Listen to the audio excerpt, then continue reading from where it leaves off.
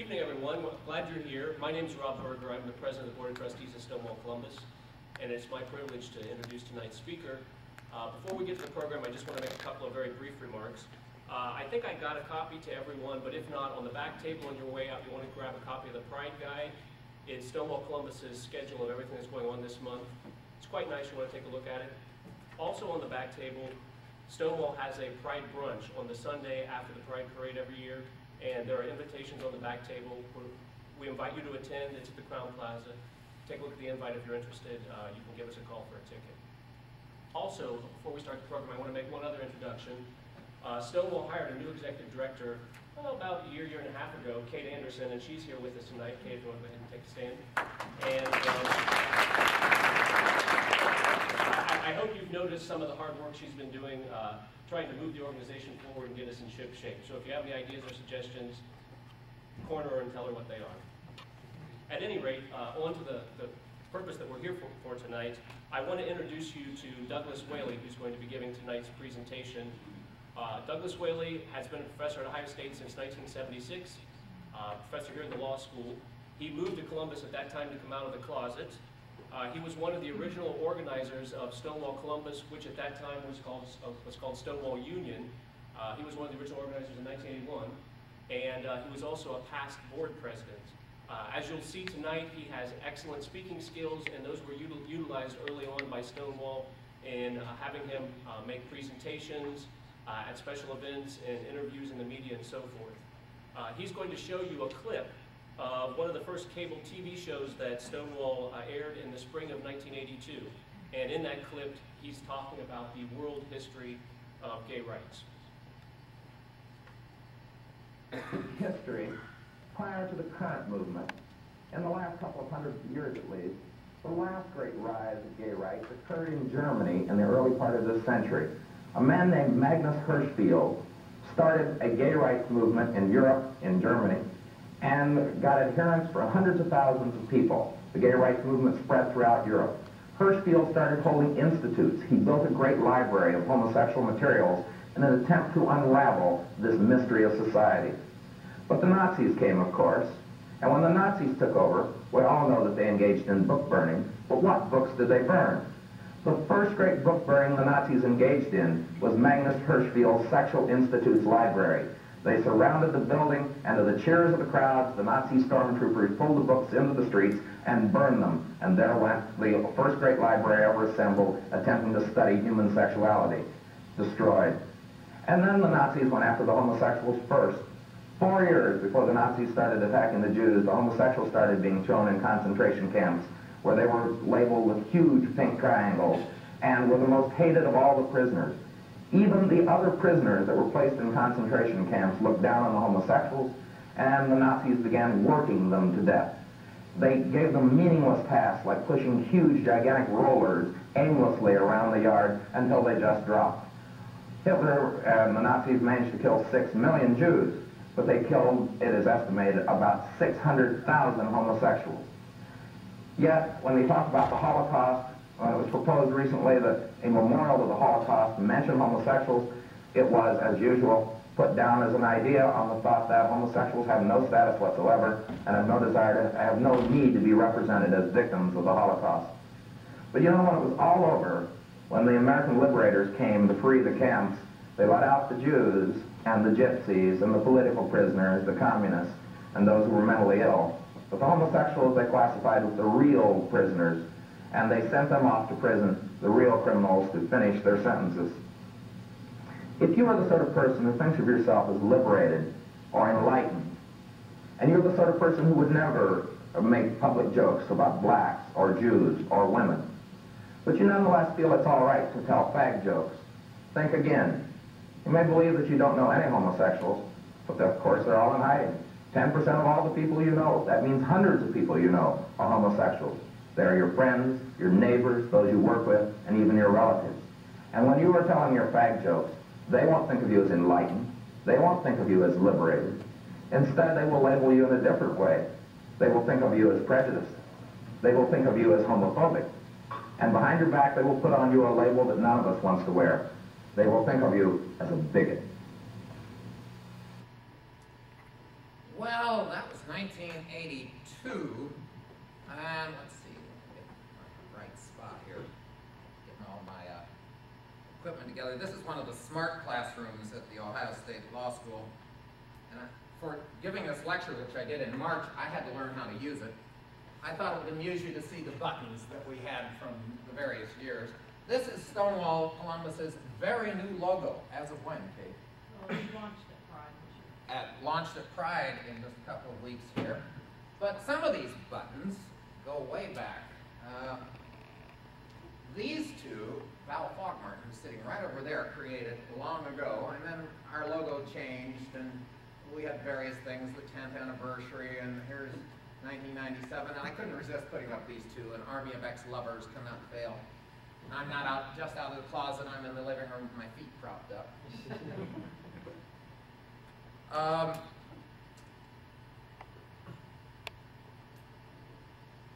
I want to apologize as we begin for the very poor quality of some of these videos. The audio is fine on all of them, but the video portions suffer from time to time.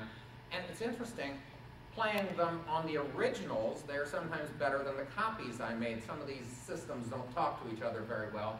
And I tried as best I could to get around all of those, but I think they are all of sufficient quality that you can tell what's going on, which after all is our function here. The general theme of this lecture is not to give a complete history of gay rights in Columbus because my burnout occurred and what happened after that, other people have to tell that story. Uh, we're actually going to go from 1969 to about the early 1990s and at that point I stop talking and sit down.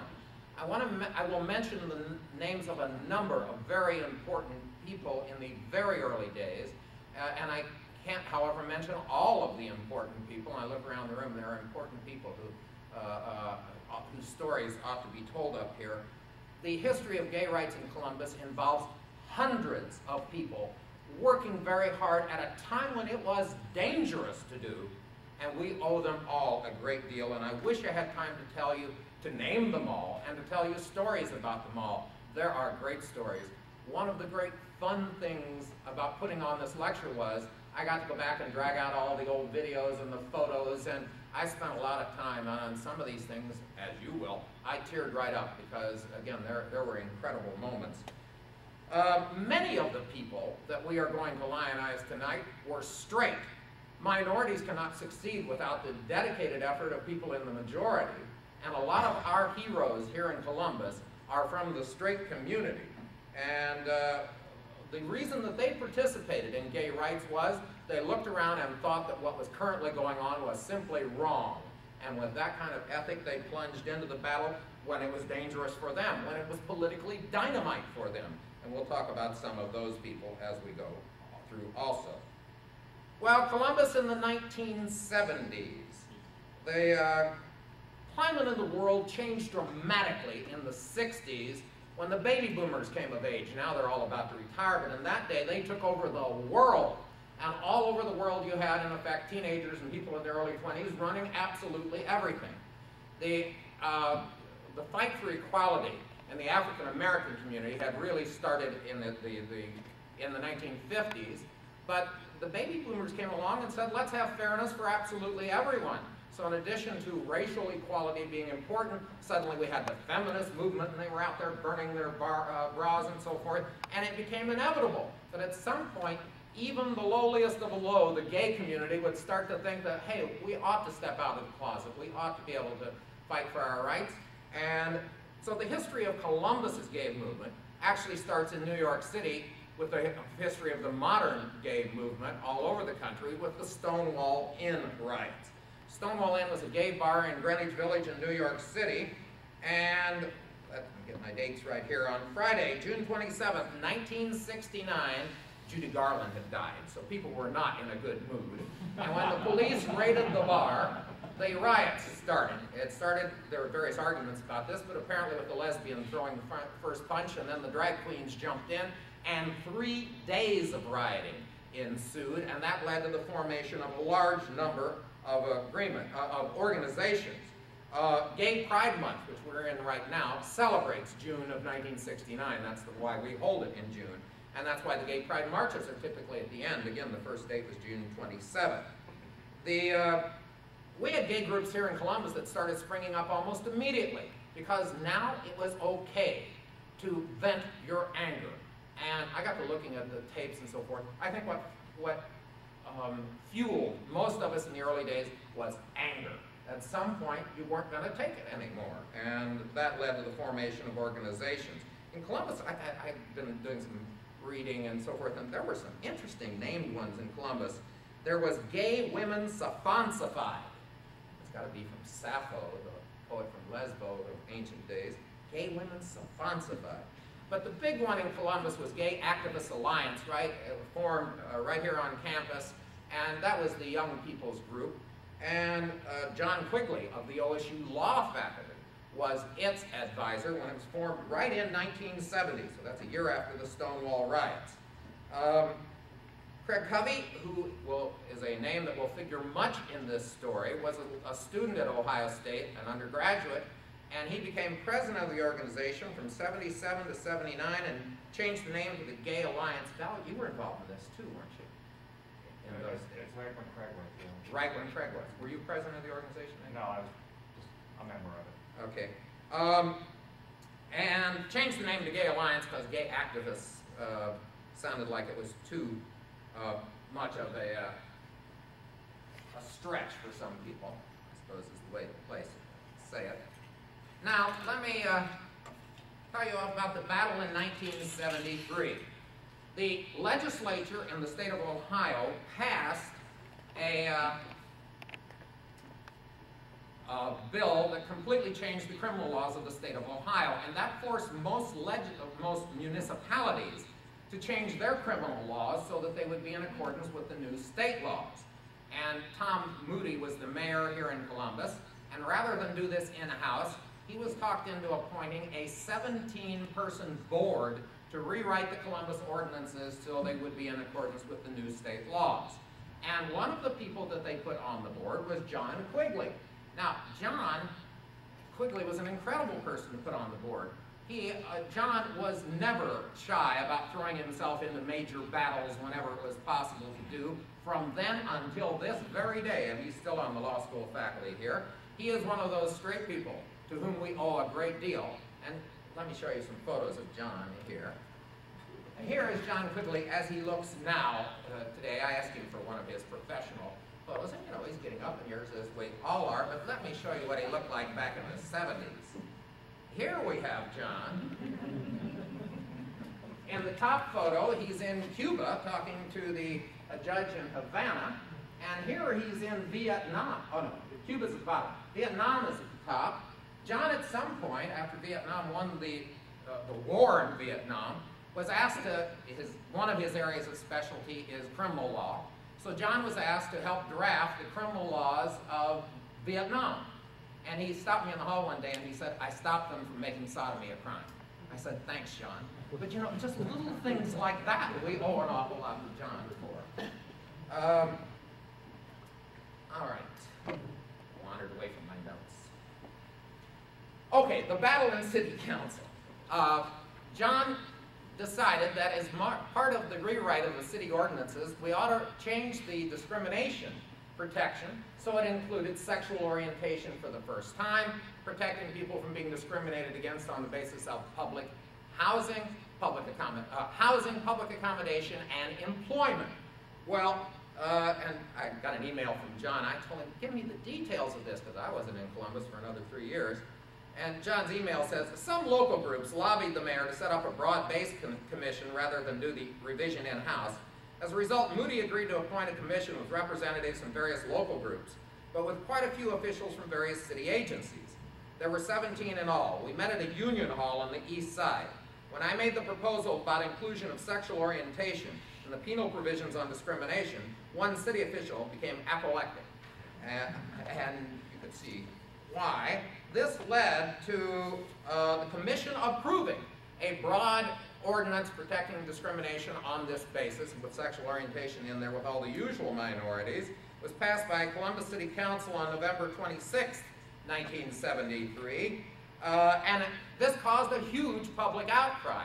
The Columbus Dispatch, which in those days was very homophobic, published an article on the front page of the city section that said, people must hire homosexuals. You know, just let's start off with, uh, get this, this argument off on a, a nice, even, uh, free basis. And uh, the city attorney is quoted in this article as saying that it promotes homosexuality and will cause problems with the police department and the fire department and so forth.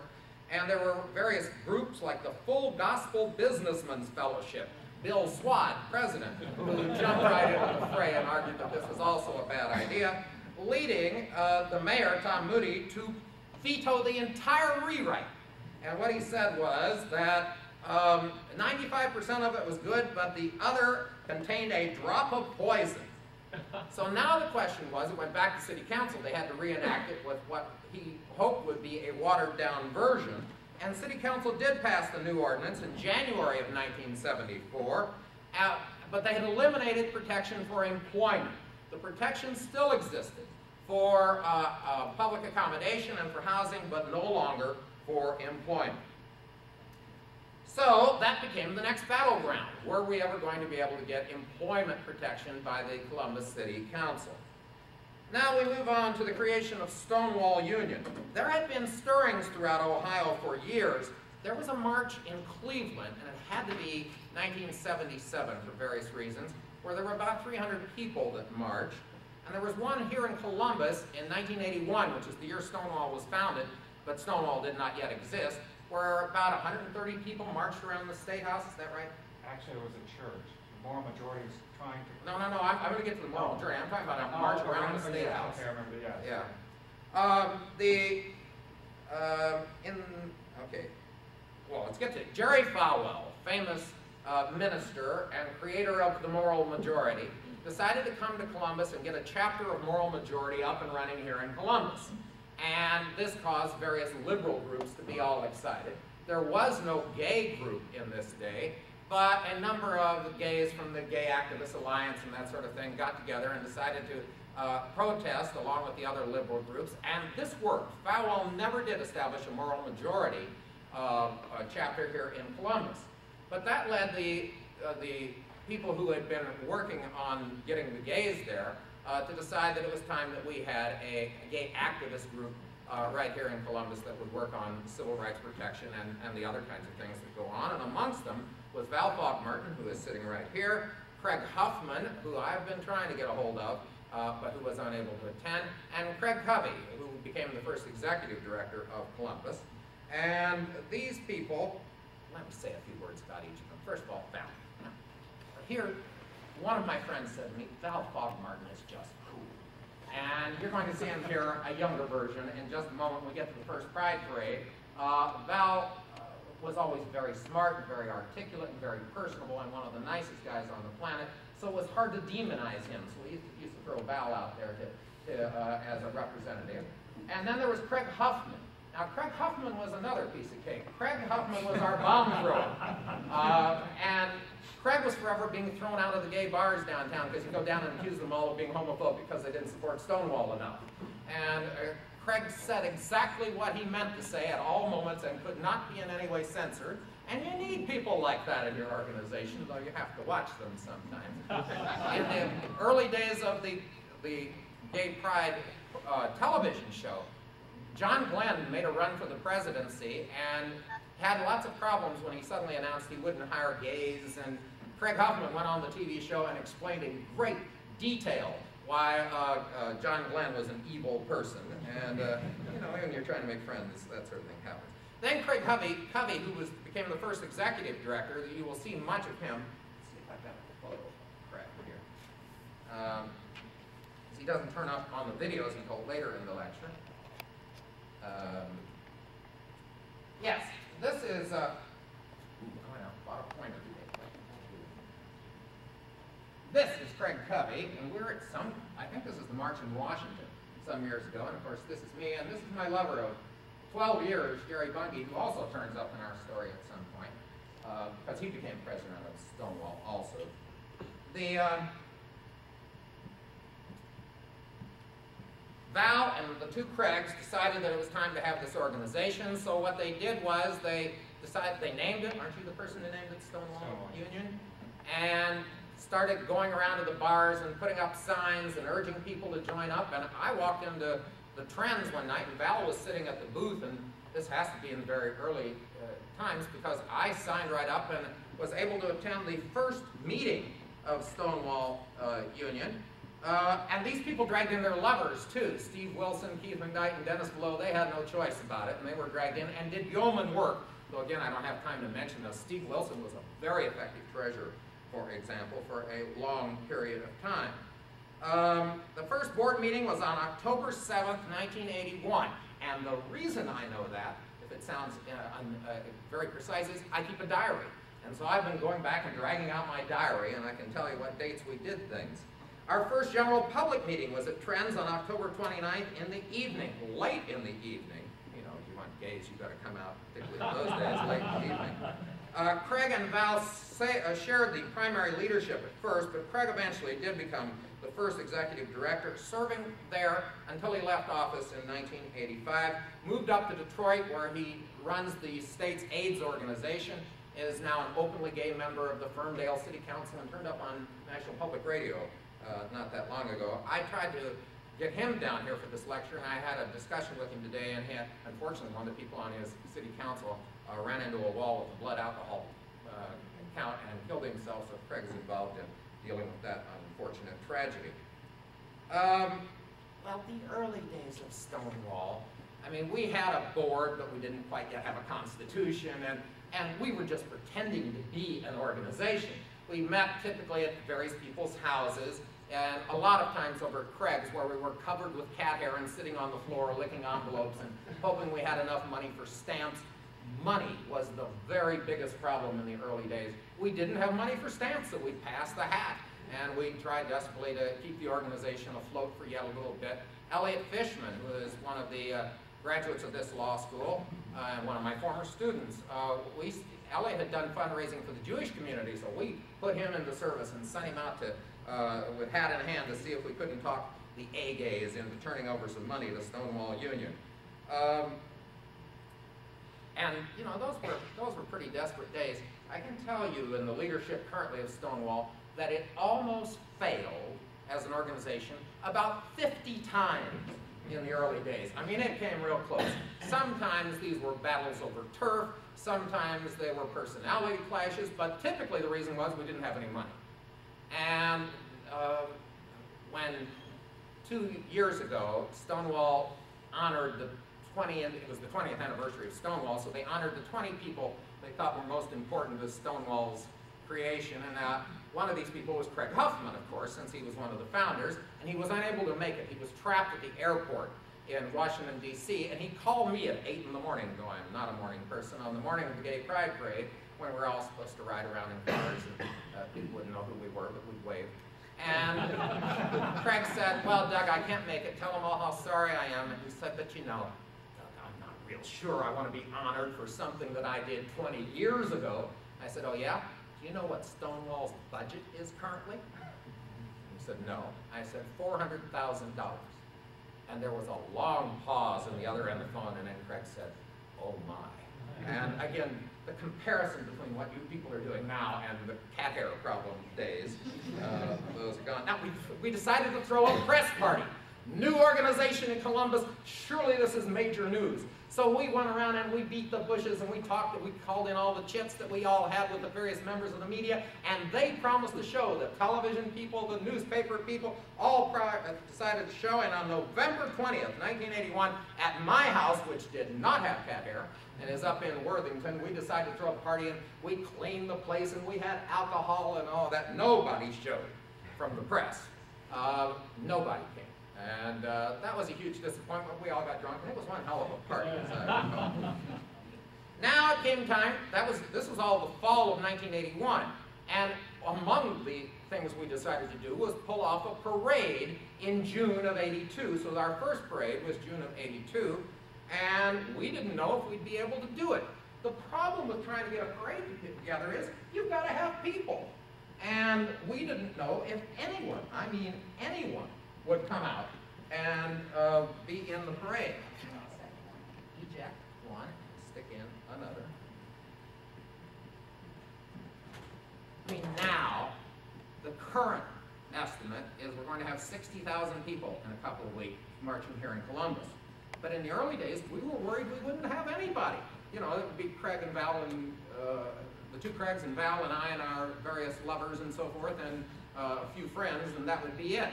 And when the people came, it was astonishing. Craig, who always inflated the numbers, I talked to him on the phone the other day, he was telling me about the Gay Pride March up in Detroit, and I said, oh yeah?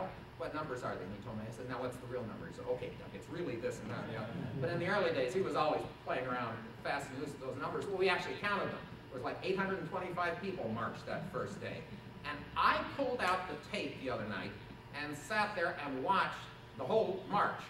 And it was amazing. They came from all over Ohio, and they were all angry and they were all very brave. We had a group that marched with paper bags over their head because they were terrified of the, what was going to happen to them once they were uh, this much out of the closet, but they marched anyway. And here is a little snippet of the press coverage of that event.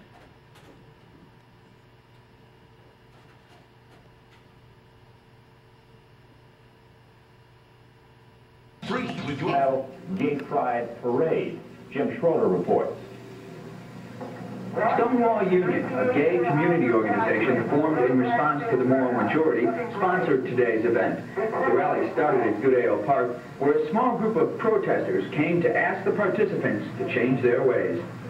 We've come down here today to let you know that being a lesbian is wrong in the sight of God. We've come down here to tell you that being a homosexual is wrong in the sight of God. But the gays were not here seeking forgiveness. Rather, they are looking for dignity and equal rights. In the past few years, has the harassment of gays increased or decreased? In Columbus, it has gotten progressively better. In Columbus, we're one of the few cities in the United States to have uh, protection in housing and protection in public accommodations.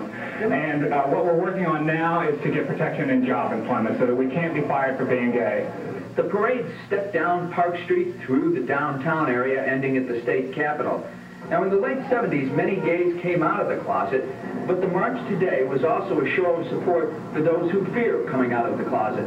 There are still a lot of people who uh, are in the closet and who are afraid to come out. And these things like this, a parade like this, we're hoping will bring people together and realize that they can come out of the closet and be open about their feelings. The speakers at today's rally encouraged gays to be proud of themselves and to work through the political system to gain the things they want the most, respect and human rights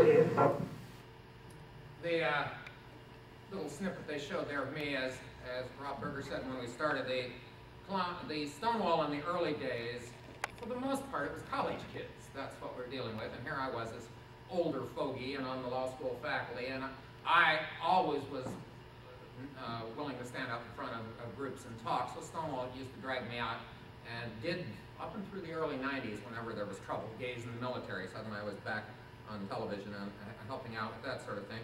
But my, again, I was fueled by a lot of anger, and my own personal story I won't tell you much about. I, I actually did tell that here in the law school classroom.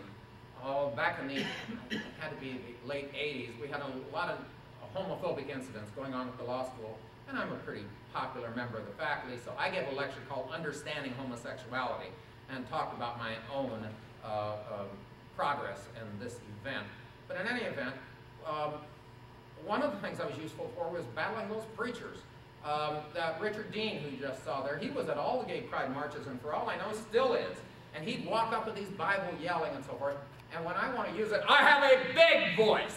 And I'd get right up next to him and I'd say, this man is teaching hatred and using the Bible. Shame on you. And I'd, uh, I'd tell him, okay, the crowd, let's go. God loves gays. God loves gays. And we get everybody chanting and try and drag, draw, uh, get that man so he couldn't be hurt. And he did not like seeing me come uh, up to him wherever he was as the years progressed. All right, now enter the great Rhonda Rivera. Now, the history of gay rights in the state of Ohio and indeed much of the Midwest uh, has to do with the great Rhonda Rivera. I one time told the San Francisco Chronicle that her name should be spelled in all capital letters and with three exclamation points. And those of you who knew her know exactly what I meant. Rhonda took over the movement. It, it tottered along and was doing fairly well, and in the fall of 83, which is two years after its founding, Rhonda became the president of the board. And Rhonda did things in a way I'd never seen. She has a genius for organization. Let me show you her, her picture. Well, here it is. Um, here's my pointer. Uh, I just failed to make a key moment. Behind you. Behind you. Um, I was in, there's the pointer. Um, here she is. This is that. This is from the uh, Columbus Dispatch a couple of years ago, and here is her current photo. But here's what she looked back back in the 70s. This is 1978. I know for various reasons. And she's smiling here. This is her son Robert. And Robert was 11 years old in this picture, but he's going to uh, turn up on a video clip in an important way when he's 17, so six years later. The very cute little child in the middle is my son Clayton, then age five. And uh, Rhonda was more like his godmother in these days. Um, well, well, Rhonda has is a genius at organizational skills and at motivating people. And even though she hates public speaking, she is a splendid public speaker. Stonewall brought her back two years ago and she wowed the crowd talking about the early days of Columbus. She said the men were all involved in uh, organization, all right, but it was always social organizations, mostly for sex. And that the women were involved in trying to run meetings without using Robert's Rules of Orders because that was the patriarchy.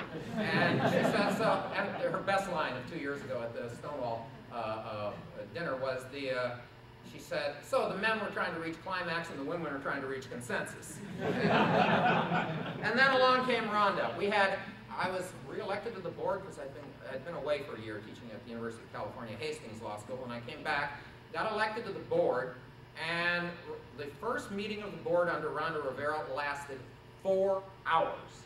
And it was right here in the law school, and because she was a member of the faculty of the law school. She joined in 1976, the same year I came, but I had been here since January, and she didn't come till September. And all of a sudden, I had the students, the gay students, one of them? Where's Richard? Where'd you go? In my office, saying, lesbian, there's a lesbian. Uh, she just joined the faculty. Uh, so I invited her out to lunch, and I'll have to tell you that story after a while. But Rhonda then took over, and that four-hour meeting went by in a flash. It was thrilling. At the end, we were all holding hands, and, and Rhonda had inspired us, and it was exciting to have her leadership. And uh, Emerson once said that an organization is the shadow of one man. Uh, if we had to pick one person, it would be Rhonda. But actually, it was Rhonda and Craig as a tag team that really kept things going through the early days until the organization had enough legs that it could run itself. And the two of them did not always get along, but they, uh, they were giants. And uh, Rhonda led us all, and she would be coming to my office. Doug, I want you to do this. Doug, get out your checkbook. I want you to do this, and I want you to join this organization. I want you to do this. And we all did what Rhonda said. The governors, Dick Celeste, signed the executive order. He was not given a choice. And the president of the university signed the protection for gays here on, at the university level. And she is down there uh, uh, with all the politicians and so forth paying court to Rhonda. And she wrote major law review articles uh, about gay rights and the the legal effect of being gay. Um, indeed, here at the university, the code word for are you gay is, do you know Rhonda Rivera? Mean, that, that was how we, we found one another in those days. Um, let's see. Uh, there were others involved in these battles in these days. Robert Haverkamp is sitting right over here down below Val. He drafted, Robert is a bigwig in the upper administration here at OSU, but he is one of the graduates of the OSU Law School, as indeed a lot of people are in this story. And Robert drafted the first Constitution that uh, Stonewall ever had, the one that required gender parity and, so forth. Um, in those days, we did an awful lot of public appearances. And Craig and I, and Rhonda and I, and Craig and Rhonda uh, were on the talk shows, and we were uh, interviewed and on the radio programs. And Craig and I had a regular dog and pony show for those four-hour radio shows, which are call-ins. I mean, some of those would really get going. Now, what I do for a living is stand in this very classroom with a room full of very intelligent people, the law students of our day, and through a Socratic dialogue, question and answer, we, we, we find the light. Well, I was able to use those same sorts of talents in the, the discussions on the radio. Because people would call in, and here is what I have now said for years, but I think is true, and I like it as part of this tape. Here is what the far right and the religious right and all those conservatives who hate gays and so forth don't understand. They're on the wrong side of the morality of this issue. And that's what surprises them over and over again. And people who are in their ranks suddenly go silent as they learn their uncle, their child, their father, and so forth is gay. And uh, they keep losing these battles because it is simply wrong to do what society has always done. And you could talk people around to that if you kept pushing at them. One of, uh, I, have, I, I, I meant to bring, I thought about bringing, one of the audio tapes of some of the great moments from the radio shows. One of my favorites is Craig, a woman calls in to Craig and says, what do you do when you see a beautiful woman? Craig says, I say to myself, I wish I were a lesbian. I woke up on the air One of these call-ins, we were, of course, forever having to battle the Bible. And we had a lot of biblical discussions. And after one of these that had gone on and on, uh, I worked the woman who called in into saying, well, I don't believe that God would create people as gay and then make it a sin. I said, I don't believe that either. Thank you for calling. And we pulled the plug on her. Um, there are a lot of things that I will tell you about about Stonewall as we go through. There are things I am not going to talk about, like the disastrous retreat in February of 1985 where the organization also almost failed over a retreat trying to get us together instead. Oh. Here was one of the main victims right over here. All right, it is now time for the 1984 ordinance battle. We had protection on the basis of public, uh, uh, public accommodations and housing, but not employment. So it was decided that we would go to City Council because City Council then had five Democrats and two Republicans on it. And Craig and various other people, Rhonda, were down there campaigning. One of the Republicans, Dorothy Teater, uh, said to Rhonda, the time has come. I will vote for it. And the other Republican was Arlene Shoemaker, currently one of Franklin County's commissioners, in those days on city council. And Arlene had loudly touted in the press that she was in favor of gay rights, a Republican woman. And this was all over the press, and she was all over the news saying the time has come for this ordinance to go through. So Arlene was on board. That gave us two Republicans. The president of the city council in those days was Jerry Hammond, and he will turn up here with the word president in front of him. He is one of those people that the gay community owes an awful lot to who is straight. Jer Jerry Hammond was introduced the ordinance and pushed for it, and he was and is a powerful presence in the city of Columbus. Also on the city council was another African American, Ben Espy, a name to conjure with then and now in the political community. And the question was, would Ben Espy vote for the ordinance? because we had uh, uh, uh, other people on board, and Espy was an important vote, and he was equivocal. And we kept pressing his aide, a young man named Michael Coleman, uh, a name you may have heard, our current mayor, was his aide in those days, and Michael Coleman said, well, we're not sure, we have some problems. What are the problems, Rhonda wanted to know. Rhonda was willing to work with all of this. And um, uh, we got down to the point where we predicted that the vote, when it came around, was going to be um, five to two. And it was five to two. Here is, we were so naive. It should have occurred to us that this sort of thing was going to happen, but we did not see it coming. Of Jesus Christ. I am an apostle of Jesus Christ. And I have brought you the Word of God. And I have told you what it says. And in my opinion, and God's opinion, as I stand before you today, homosexuality is an unclean practice, as the Father God has said it. Plain and simple. And they should not be forced to be hired in to be around our children to spread diseases that have no cure. It's foolishness. It's foolishness. You don't let a leper person in among clean people. You quarantine them. You keep them outside. You quarantine smallpox and herpes, AIDS, and these various diseases that have stemmed out of the homosexual community should not be forced to be placed among God's clean people. The atmosphere, Columbus City Council, if you've never been down there, uh, they meet up in the front and they've all got their little booths with their names in front of them. And the room itself is quite large. There's a downstairs seating area and they, then there's an upstairs balcony, which is quite uh, spacious also. And it was packed to the point where it was standing room only.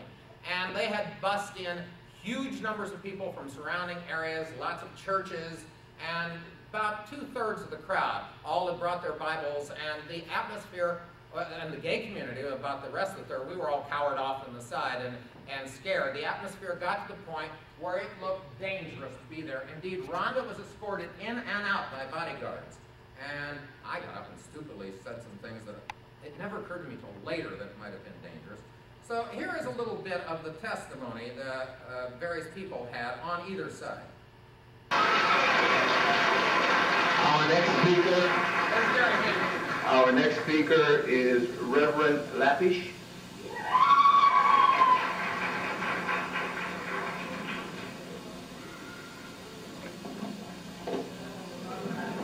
Name is Tim Lafish, reside at Chase Avenue. They told us in college that we to start all of our sermons with a joke. And the joke is that I'm even here today. I can't believe that this great city of Columbus is actually considering the passage of such a bill of this nature. I have two reasons. I'll no doubt be redundant, but I'll try not to be of my preceding fellow uh, believers. First of all, I believe if we pass this issue, it's going to give Columbus a bad name. Who in the world wants Columbus to be known as the gay capital of the Midwest? It used to be that Columbus was the all-American town, mom, apple pie, and things of this nature. How dare, how dare we even think of putting such an ordinance into this effect here? That would cause us to think any different. Number two, we believe if this issue passed, homosexuals from surrounding states will flood Columbus. They'll realize that they're protected by law, and they'll flood here, and they'll bring their AIDS disease with them. And we don't want it.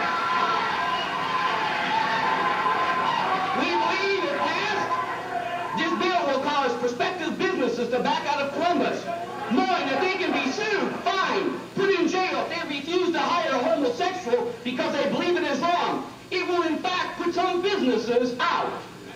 Do you think, do you think if this is passed and a daycare center has a homosexual, that people who have trusted that daycare center are going to keep their kids in there? They're going to yank them and out of business go to daycare centers. We it passed the young professionals that Columbus has been attracting over the past 10 years will pass because their children will have to be reared in a school system that has known about homosexuals and lesbians to teach them a lifestyle that they do not want for their children.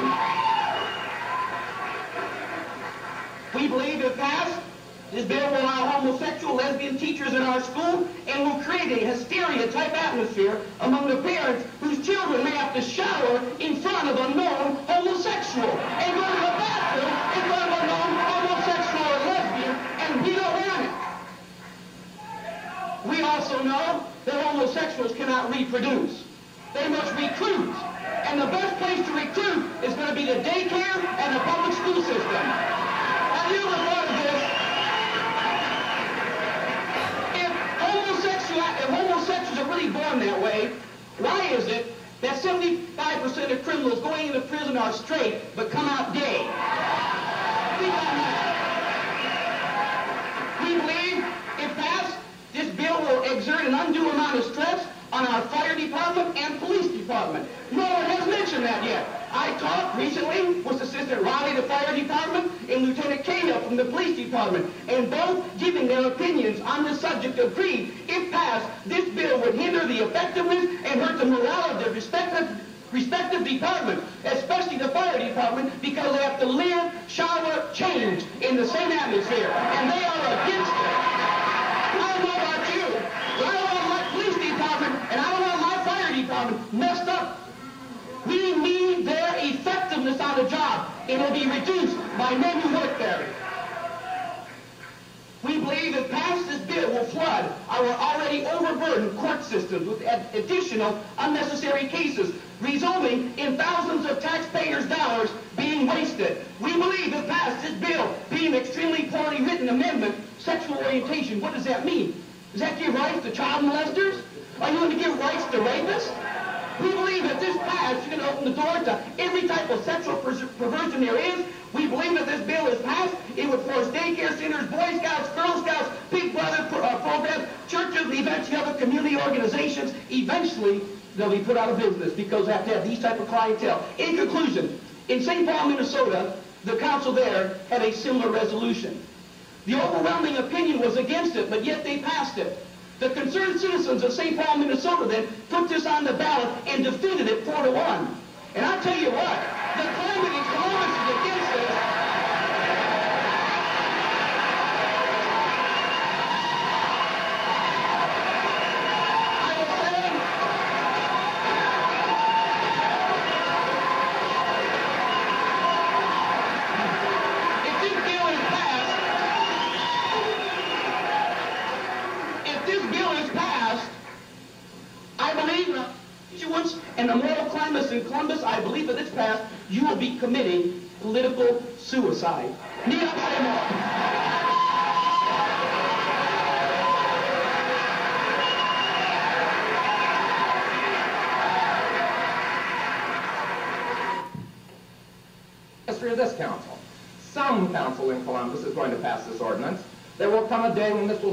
silly a matter as, as discriminating against blacks or women. But uh, the question is, is this an act of political courage that this council can pull off? It will be very hard to do because you're going to face a group, you're going to support a group that is much discriminated against. But I like to think that the city of Columbus stands for the idea that you may not discriminate on the basis of job, on the basis of uh, sex partner, and that you can discriminate only on the basis of whether or not people are doing their job.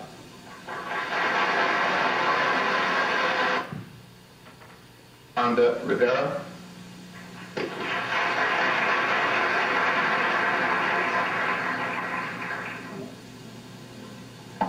I actually am here in two persons tonight. My name is Rhonda Rivera.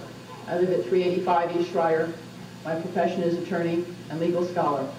I cannot remember, although I'm a relatively well-known public speaker, when I have felt so deeply and cared so much, so you will excuse me. Over 54 cities in this nation already have this legislation. It's not that wild. One state has voted to protect gay people all over with regard to their employment rights. We have four executive orders in states around this country.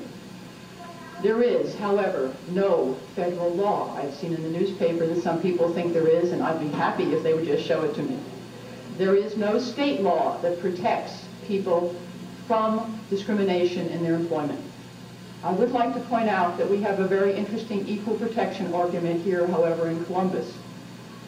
Under the executive order issued by Richard Celeste, every state employee in this city is protected with regard to their sexual orientation.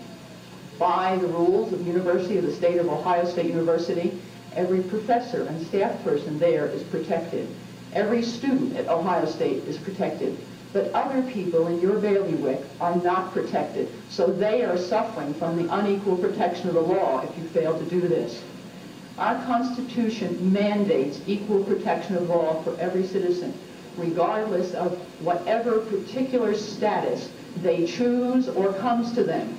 If you are a Jew or a Roman Catholic or an Episcopalian, it is not something you are born with. You, you choose it. If you think homosexuality is chosen, it's no different. However, the study shows that we do not choose the lives that we are given by God, and therefore we should have a right to be employed. Columbus already protects us in housing and public accommodation. How are we to afford the housing if we cannot have jobs? How are we to go out and enjoy the public accommodations if we cannot earn a living? I have heard people say there is no need. I am a private attorney. In the eight years that I have been here, I have had three to five calls every week of people who have suffered discrimination in this city. And I had to tell them there is nothing I can do. Years ago, when the Irish landed in this country, there were signs that said, no Irish need apply. Years ago in this country, when a black person went in for a job, they were told there were no jobs for them. And I can remember when I left law school in 1968, there was no job for me because I was a woman. Don't fail to include everybody so they have a right to a job regardless of any status or condition. They have a job on merit. I would like to introduce to you my son, who is 17 years old and is about to graduate from a Columbus public school. He's going to finish my, my time. My name is Robert Rivera. Um, I go to Columbus Alternative High School. And uh, I guess one of the things that I'm really pleased with about Columbus is that I can go to a school where I feel happy. Columbus Alternative is a place where people can go when they don't feel quite right with the Columbus public school system as it stands now. People feel ostracized in schools, and ostracism is a tough thing to deal with. It makes people hurt. I've watched my mom for 17 years. Hurts. What I'd like to say to you tonight is that we're all opening our hearts to you, and we're putting them on a silver platter so that you have two choices. You can cut it, or you can love it. That's all I can say.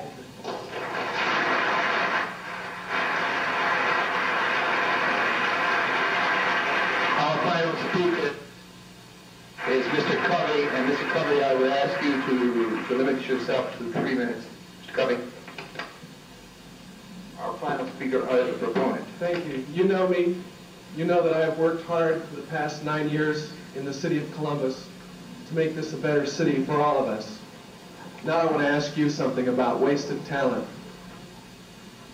How much talent has been wasted, was wasted for over 150 years when women did not have the vote and had no rights? Why did women have to suffer in the United States of America?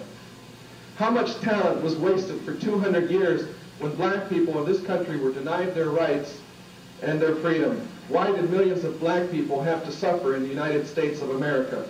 How much talent has been wasted for hundreds of years up to today when gay and lesbian people are oppressed, when we're denied our rights and we're, we're kept in fear? How long do we have to suffer in this country? Is there discrimination in this city? If there is anyone in this room who has ever been fired or denied work because they are gay, if there's anyone here in this room who has ever been in fear of being gay, if there's ever anyone in this room who has ever suffered abuse or discrimination because they are gay, if you believe that the time is now to end this waste of people, would you silently stand up? As voters, as workers, as citizens, as decent, hardworking Americans in this city, as people, we ask you to vote yes. We now... Well, they were now ready for the vote, and this was the big moment, truth to be told. First, Ben Espy, um, who we've been worried about, asked for Rhonda to come back up to the lectern, and he started quizzing her on the details of the ordinance. And he said, is it true that the enforcement mechanism, the, the entity, the commission that was supposed to enforce it, no longer exists? And she said, yes. And he said, well, then if we pass this, nobody could enforce it. He said, it's such a poorly drafted bill that we ought, we ought to do is go back and correct all these problems before we start playing around with something that can't be enforced anyway. And the surprise was these objections hadn't been raised until the absolute last moment. Then a number of members of council that we had counted on decided to explore, uh, explain their votes. The first of these was Maury Portman, who had been former president of city council, and um, he, decided, he got very upset with equation of people who were homophobic with the Nazis, and he decided to say a word about that. And it follows immediately on my, my clip here with Arlene Shoemaker, who had been widely touted, as I said in the press, the Republican going to vote for this, explaining why she could not do so. And as part of her explanation, she has one of the most interesting slips of the tongue I have ever heard. You have to listen for it. She means to say we do not have a clear ordinance. She says queer, unfortunately, and then manages to correct herself. Here is that. Of direction from council members as to the direction you want to take. Mr. President, Yes, Mr. Portman. I feel it's a statement that I have to make. I resent cohesion of Nazism with this issue. Just, just to make a historical point, Adolf Hitler's closest buddies were homosexual.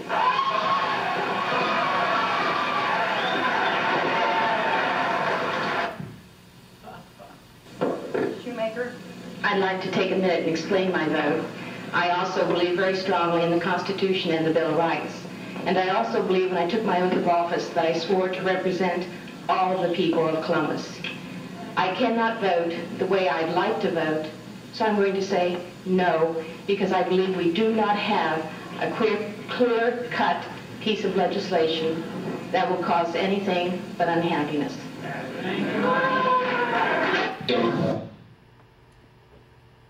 Well, there was another complication. Oh, you want to change the tape. Hang on while we change our tape. Let's all family talk amongst yourselves. The aftermath of that was depressing. And the gay community was down in the dumps because we'd had a very public humiliation and it became clear we were going to have problems ever getting it through city council. And there was another complication. Under the laws of the city of Columbus, if there is ever a referendum on a, something that's passed by city uh, council, and the referendum defeats the ordinance, it can never be introduced again. Instead, it would have to be reintroduced by a referendum. And we were very worried, given that kind of climate, that the referendum would be filed. It has to be filed within 30 days of the ordinance being adopted, so we didn't know how to get around that problem. On the other hand, because this was such a terrible public event, it also, good happens to come with bad too. Uh, when you lose battles, frequently it energizes people, and a lot of people were furious over this, came out of the closet and wanted to join Stonewall and push for things. And, um, uh, you know, in the meantime, we were all battling oh, the antagonism because suddenly we were all over the newspapers and on television, and this was much run, and we had to deal with death threats. Um, here's how I dealt with death threats. I learned how to handle death threats from my mother. Um, my father was a prosecutor in Dallas, Texas, and he was, this will surprise you, not a shy, quiet person. He was uh, wonderful in the courtroom, and he was very good at putting people in jail, and they promoted him to the point where he was prosecuting career criminals. That's the mafia. And that's how my mother would get death threats, uh, arguing that he ought to quit what he was doing. And she said to me, Doug, what you do, you hit the cradle of the phone a couple of times, and you say, operator, this is one of those calls, please trace it. And she says they hang up instantly. And the opposite happened of what they planned on. They called to scare you. So we had to deal with those sorts of things. Um, there was, however, a gay pride march not long after that city council battle. And suddenly we had a huge march. I mean, there were lots of people suddenly marching, and they were all angry. And uh, we were all talking about that ordinance and uh, the various other incidents I mentioned, the John Lane's problem and so forth. And um, I got dragged out once again to talk to the crowd, and I thought I'd give you a little snippet of me yelling at the crowd on the State House lawn, and this is June of 84, the same year as the ordinance.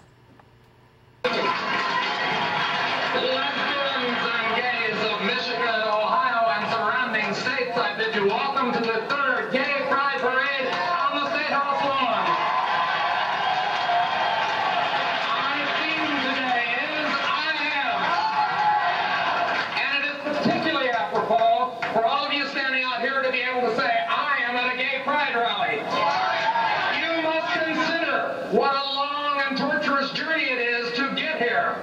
Consider for a moment that you do not reach this place by just starting off here. You must first walk through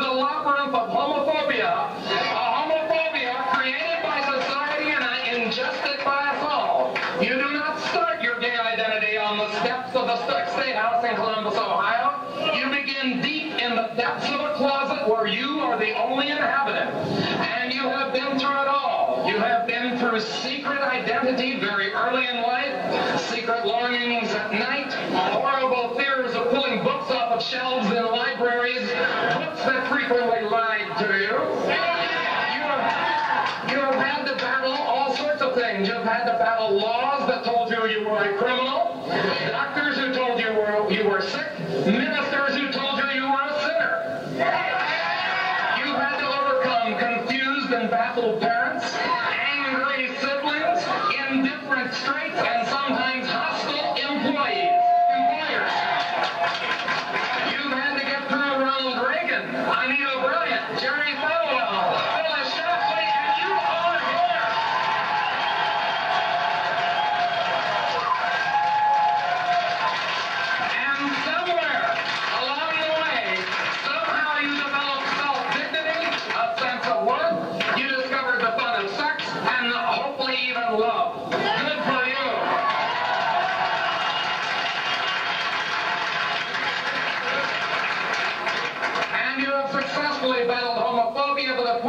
now say that you can stand in the sunlight in the State House at a gay pride rally and say proudly, I have done it, I am here, I am.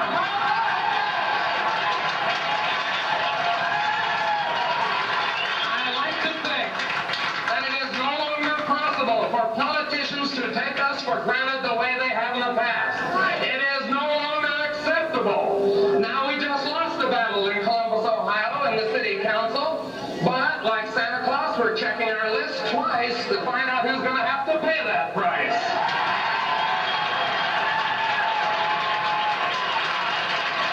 You know, I like to think it's no longer acceptable for any politician anywhere in the United States of America to come out and take a homophobic stance. John Glenn wonders what happened to his campaign. I'll tell you what happened to his campaign.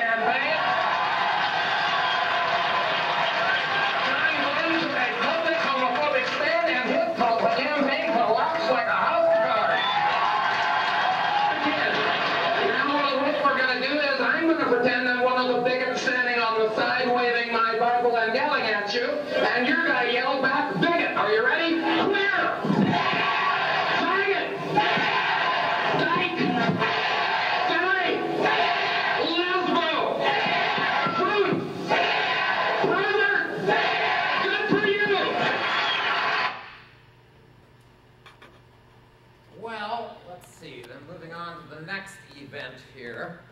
The uh, Columbus uh, blossomed as a gay rights center, and Stonewall certainly blossomed in those days. After this, there was no danger of the organization failing. So 1984 was a key moment in the history of the organization.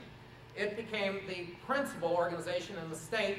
Indeed, we were copied widely in other cities. At one point, we had the uh, they were organizing down in Cincinnati, and they wanted to call themselves Stonewall Union Cincinnati.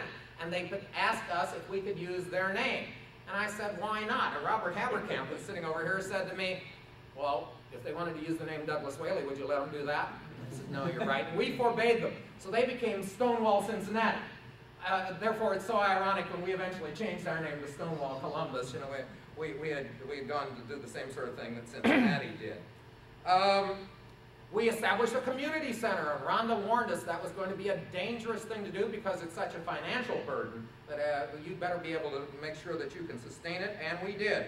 We had lots of other battles going on that I don't have time for, and again, there are famous people in the room in these battles that I would like to, to uh, recognize. I should again mention one of the straights, however, that helped us out so much. Mary Jo Kilroy, who's one of our students here at the law school. I taught that woman contracts many years ago. She eventually was on the, uh, the school board here in Columbus, and she fought valiantly and hard from the very beginning uh, to protect school teachers from discrimination on the basis of sexual orientation. She is now one of our Franklin County commissioners, along with Arlene Shoemaker. I'll bet the two of them have interesting discussions. Uh, there are hundreds of gay organizations out there, and in Columbus, we've got one of the largest lists in the country of gay organizations. Uh, everything from things like uh, Bravo, the Buckeye Region Anti-Violence Organization, down to the Bowling League, which I believe has the largest organization in the state for uh, active members who turn up at their, their routine events.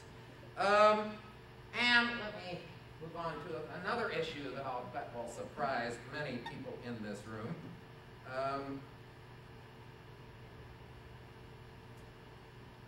oh, this is, one, this is one I'm going to put up first. This is a list taken from the program of two years ago of the presidents of Stonewall Union, and it's accurate except for Rob Berger, who follows uh, Susan White on this list. And the one I want to talk about, and the first one I want to talk about, is Chris Kozak. Now, Chris Kozak, you'll notice on this list, is 1988-89. She was the first person who had the temerity to run twice uh, to become the president of Stonewall. Uh, everyone else, Rhonda, myself, and everyone else had burned out after one year, but Chris Kozak, who is, uh, we owe an awful lot to Chris, too, um, she managed to run it for two years. And here is a picture of Chris. Uh, she's the one sitting closest to you, and her lover, Gloria McCauley, who is sitting on the, uh, behind her there, and standing as their child, Kaylin. Uh, Chris and uh, Gloria now run Bravo, that Buckeye anti-violence program. But you will notice that the year 1990 mentions Russ Stock slash Chris Kozak. Now, what in the world is that about? Here is what it about. Uh, came about. Um, Russ Stock became the president of the organization, and, and we later learned that we should ask more questions about the people who are going to be the president of the organization because he was promptly arrested for rape.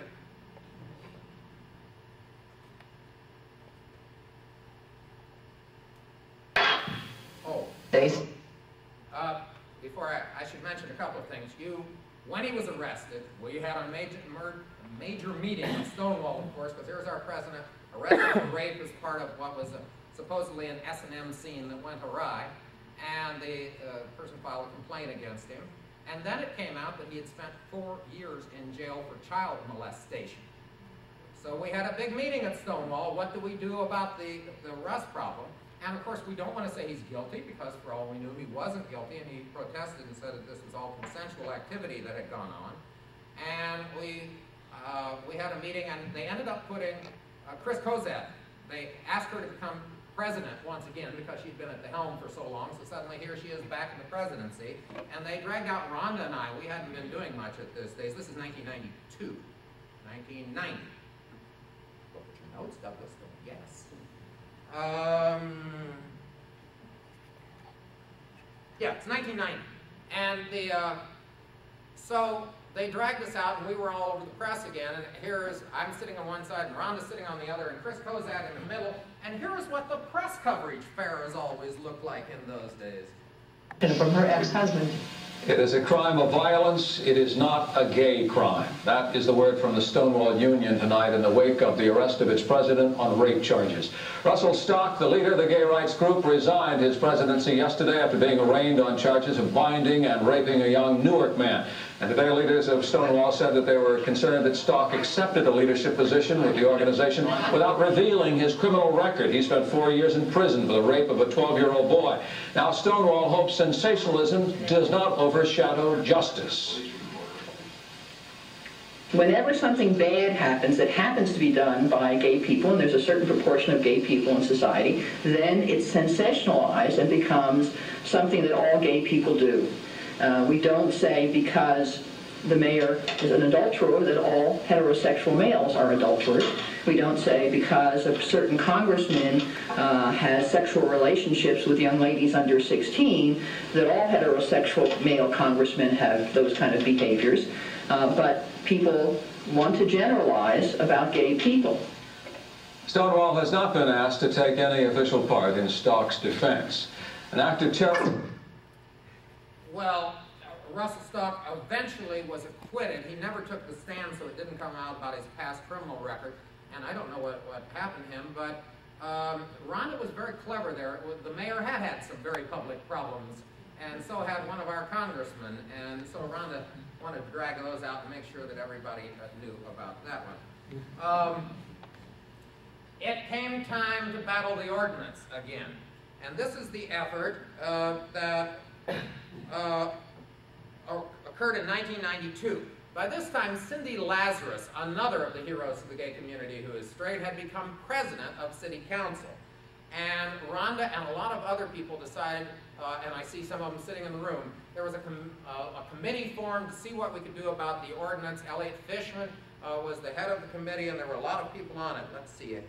Ed Pfeiffer was the uh, president of Stonewall in those days, and people like Marianne Neal and Steve Schellebarger and Phil, were you on this one? Where is he? Where did Phil go? Phil, were you on that? In that group too. Phil Pichatelli and the, uh, uh, let's see, Jerry Bungie, who was my lover, Todd Anglin and Ed Tomczak, who owned the Eagle, and they were all involved in these things. And the idea was that see if we could get it through city council. We had a new mayor, Greg Lashutka, also a graduate of this institution. He was a Republican, and he had been the city attorney at the time of the 84 battle when he was not particularly supportive. But we sent Rhonda off to talk to him. And, you know, again, you did not say no to this woman. And it turned out that the mayor had gay neighbors, and he said, look, he said, I'll sign the ordinance if you pass it, but there can't be the kind of big public brouhaha that we had back in 84. It's got to be quiet before I'll sign it. So then the question was, how do we do it uh, quietly?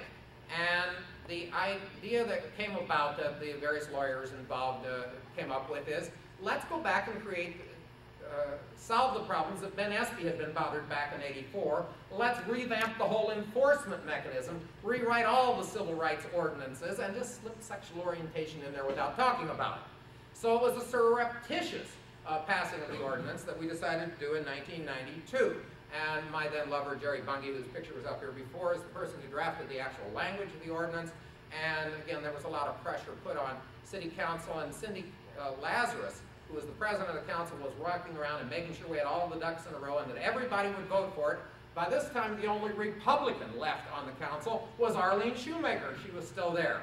And she said, I will be out of town on the day that you vote. And uh, so that's exactly what happened. Um, the uh, council passed the ordinance on Monday, June 8, 1992. And now we have to wait out the 30-day period before that uh, for a referendum, because if that happens, we're in real trouble.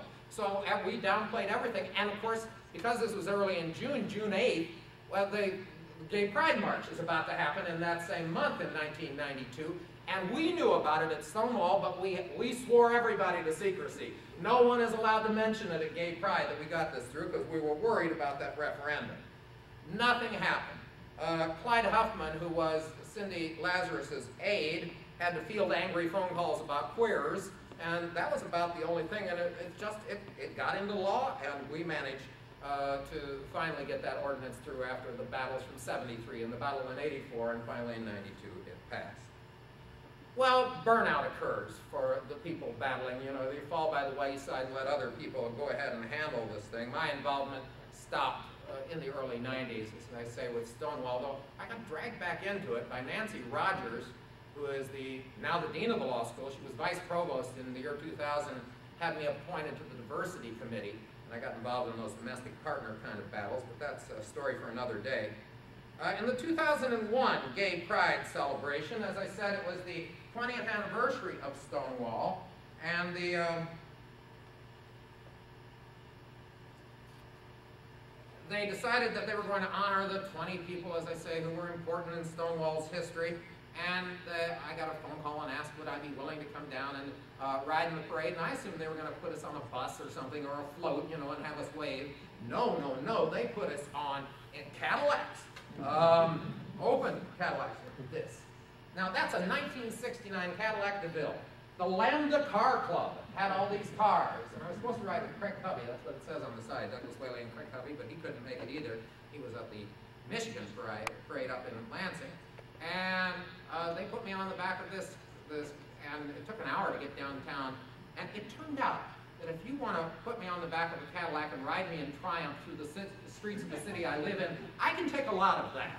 And uh, I did a great deal of waving and so forth. Uh, and, and there was occasional sporadic applause, and I assumed it was for me till it occurred to me a lot of it was for the car, uh, people come up and stroke the car. And uh, I had an epiphany riding in that parade.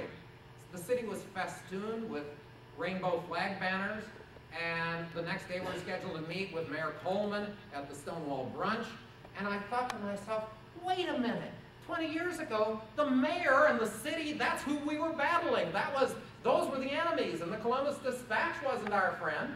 Uh, the Columbus Dispatch was hugely homophobic.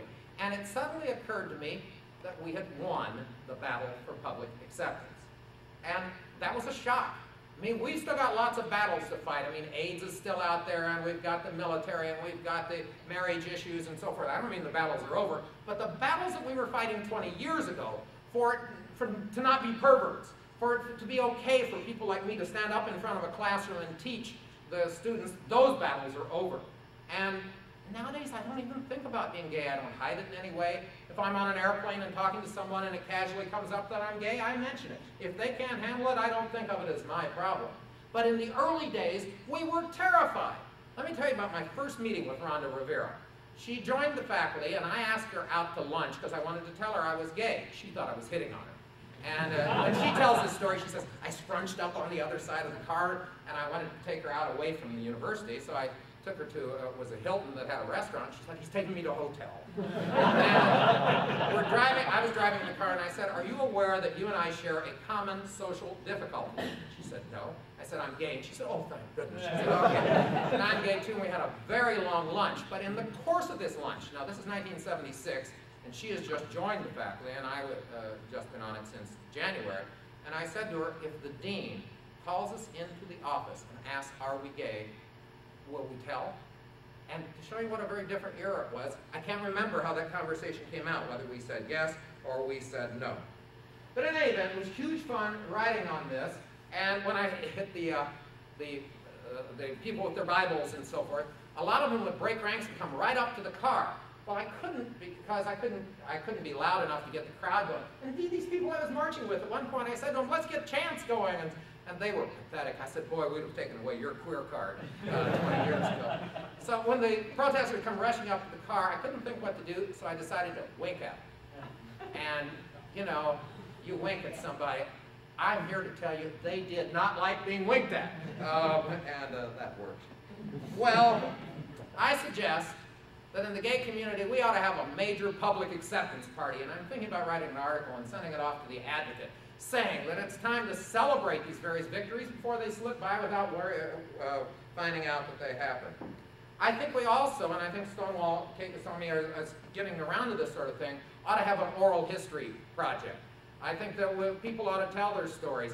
Someone ought to go down to Albuquerque, where Rhonda and her great lover Margaret Morris are, and get their stories, because Rhonda certainly has got stories to tell. And Craig Covey, who's up in Detroit, and Val, and all the people who are sitting around who fought these battles, and people who were here before uh, the Stonewall um, uh, period that I have talked about, and what used to happen in the days where um, there used to be rent busting parties.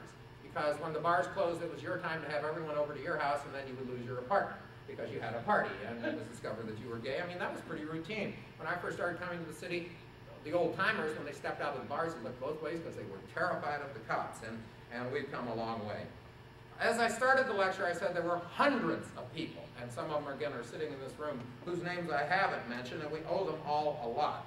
Uh, but when I look at what Stonewall Columbus has become, uh, what a miracle its existence is, how very far we've come from the Stonewall riots in 1969. Uh, I get a lump in my throat. There's, this has been a, a, quite a battle, and I thank you all for coming tonight and letting me tell it to you.